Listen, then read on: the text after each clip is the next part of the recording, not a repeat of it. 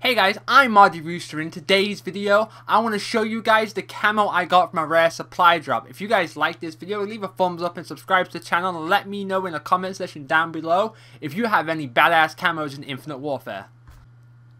Alright guys, enough of this shit introduction, let's get down to showing you what you came here to see. The camo I got is for the rocket launchers and as you can see it looks beautiful. It is called the Golden Dragon. Now this was of epic rarity and I did get it from a rare supply drop.